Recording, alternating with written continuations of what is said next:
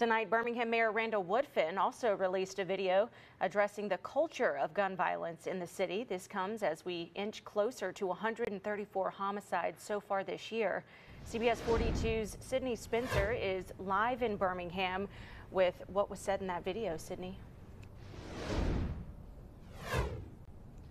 Carly, Mayor Woodfin was surrounded by 145 firearms, most of which were AR style and Dracos. He says the problem we're seeing with gun violence is solvable, but it's going to take everyone to do their part to end it.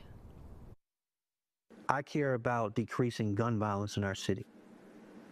I care about decreasing crime. I care about saving lives. But hell, it's going to take more than one man. Strong words from Birmingham Mayor Randall Woodfin saying Birmingham is seeing the worst of the gun violence epidemic as we near 134 homicides in 2024. We're coming up on an unfortunate milestone this year in 2024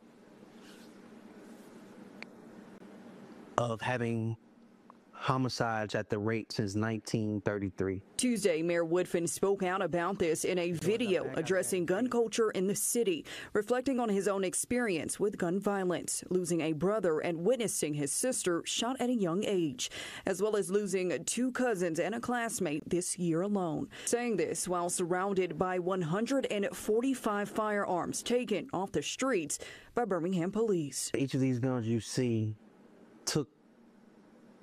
somebody's life.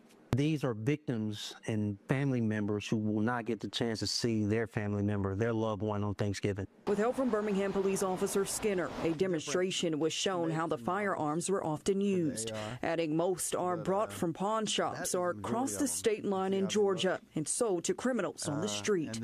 Now he's calling not only on state and country legislators, but also the community to make a change. This is a solvable problem in our city. This is a solvable problem in our state, and this is a solvable problem in our country.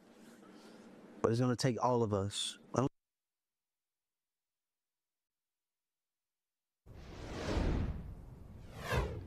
Now, Mayor Woodfin says the city will continue to put tax dollars towards creating conflict resolution resources available for the youth in our city. He says they will continue to recruit officers as the department continues to face a shortage. Live in Birmingham, Sidney Spencer, CBS 42 News.